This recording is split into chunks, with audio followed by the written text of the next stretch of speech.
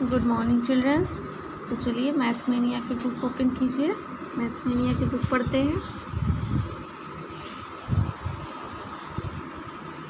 Page number two five twenty five Mathmania की book open कीजिए। Page number two five twenty five चलिए start करते हैं। Concept of zero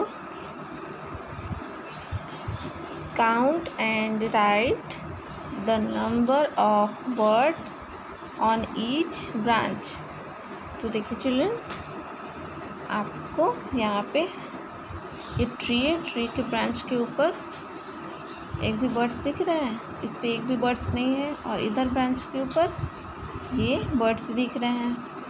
तो इस बर्ड इस ब्रांच के ऊपर बर्ड्स नहीं है तो ये जो कॉलम है, इसमें नंबरिंग करना है तो यहाँ पे होगा ज़ीरो इसमें एक भी नहीं है तो यहाँ पे होगा ज़ीरो।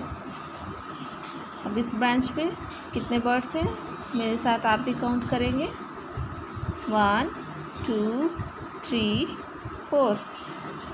Four birds हैं तो यहाँ पे लिखेंगे हम लोग फोर। फोर लिखेंगे। अब नेक्स्ट देखिए। How many cows are there behind each fence तो देखिए, ये इसको बाढ़ बोलते हैं। जहाँ पे काऊ रहते हैं तो वहाँ पे बाँस लगा करके पूरा घेरते हैं ना तो ये बाढ़ है। बाढ़ के पीछे कितने काउस है? तो इस बाढ़ के पीछे नहीं है, इस बाढ़ के पीछे है तो यहाँ पे नहीं है तो यहाँ पे होगा ज़ीरो। यहाँ पे एक भी नहीं है, यहाँ पे होगा ज़ीरो। इसके पीछे कितने काऊ है? One, to. टू काऊ है तो यहाँ पे लिखेंगे टू। नेक्स्ट आइए। How many rats are in the cage तो यहाँ पे देखिए केज है केज के अंदर रैट है। तो हम लोग काउंट करेंगे, फिर नंबरिंग लिखेंगे।